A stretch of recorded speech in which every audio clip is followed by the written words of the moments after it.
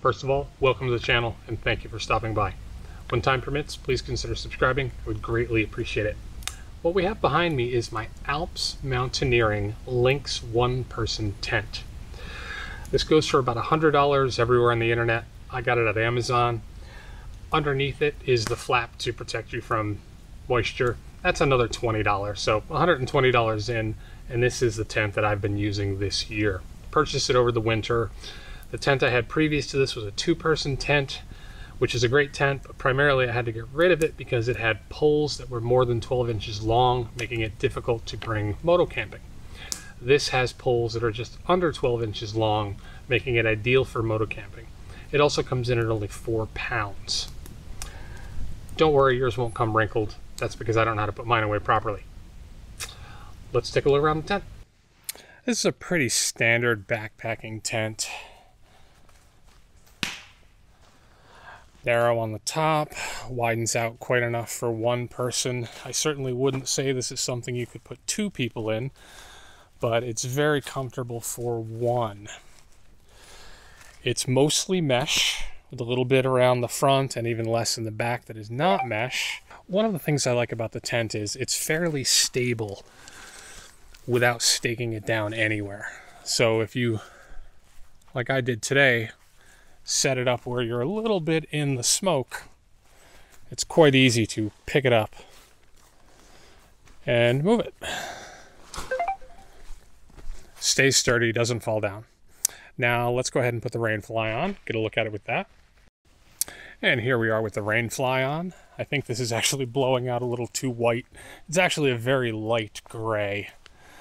And I do recommend staking it out in the front and in the back for improved ventilation. The Rainfly comes out quite a bit. And the benefit here is that since we're moto camping, there's now plenty of room to take something as large as my 40 liter top bag and protect it from the moisture overnight. I put it there, I zip this up again,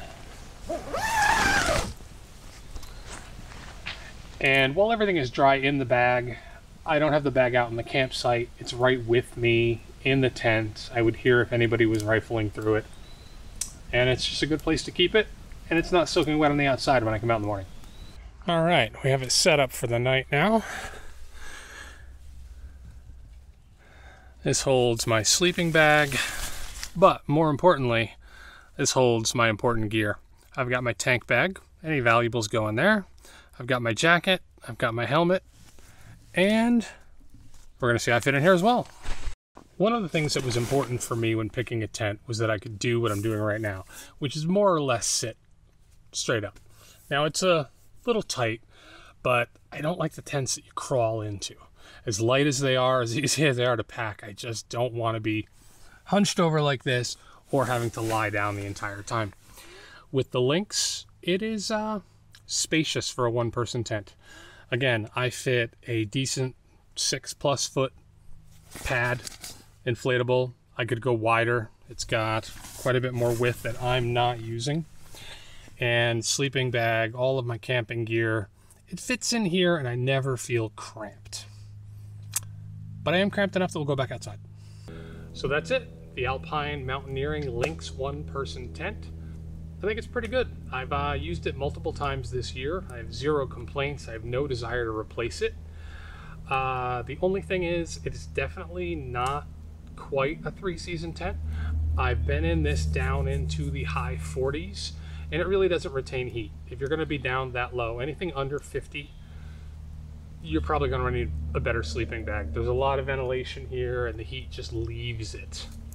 But other than that, if you're going to use it in the spring, you're use it in the summer, you can use it very sh shortly into the fall. It is a fantastic tent and you can't beat the price. If you stuck around this long, thank you. I appreciate it and take care.